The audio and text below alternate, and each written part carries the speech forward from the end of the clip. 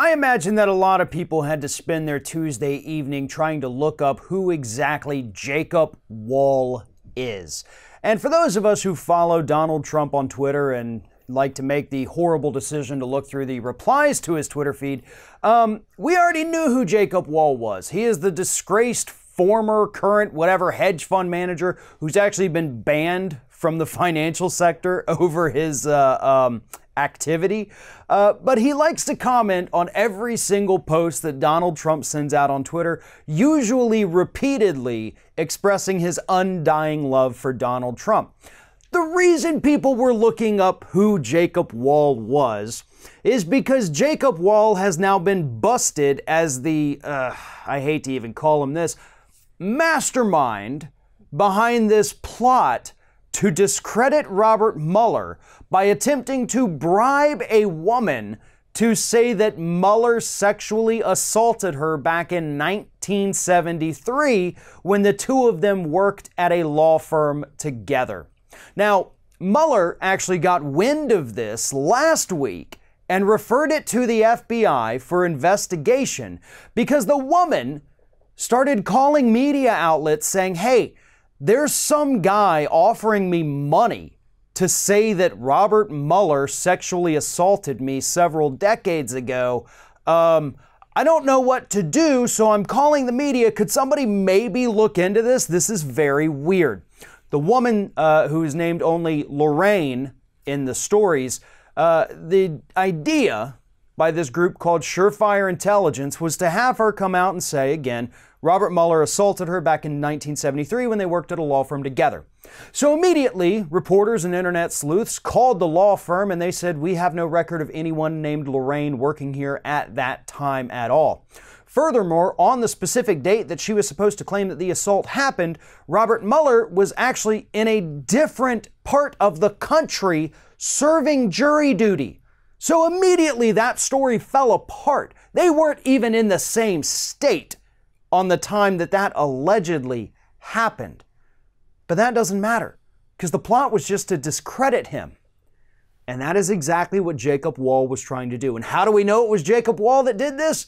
Well, because the kid's an idiot.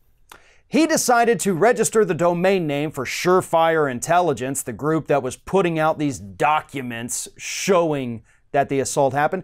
Uh, he registered it with his own email address, which, by the way, is jacob.wohl at nextmanagement.com, in case anybody needed to know that. Um, it's actually it's listed on the document so you could have found it i'm sure everybody's already seen it by this point and i'm sure he's changed it by this point because he probably needs to go ahead and do that the conspiracy theory was also pushed by a man named jack burkman a conservative radio host uh, a guy I thought actually disappeared years ago after he was popped several times for soliciting sex from prostitutes. I don't know that he ever actually uh, got arrested for it, but plenty of uh, sex workers came forward and said, "Yeah, they, Jack Burkman gave me his card." They actually showed his card. So this guy had some serious problems. He also showed up on the DC Madams list. So yeah, this was a guy he loves paying for sex, and he was also neck deep in this plot with Jacob Wohl. And it gets even more absurd from there. I'm going to read you just this list um, from Business Insider of all of the crazy things that people found out about Surefire Intelligence, Jacob Wohl, and this entire plot to discredit Mueller. Here it is. Uh, Surefire's official phone number goes to Jacob Wohl's mother's voicemail. So he sets up this fake company and he has to put in a phone number. He obviously can't put in his phone number, so he put in his mommy's phone number. They called it and it went to her voicemail. Wow. Wohl's emails listed in the domain records for Surefire's website. The official, uh, the office, excuse me, Surefire listed as its address is in fact occupied by a law firm that actually has nothing to do with them.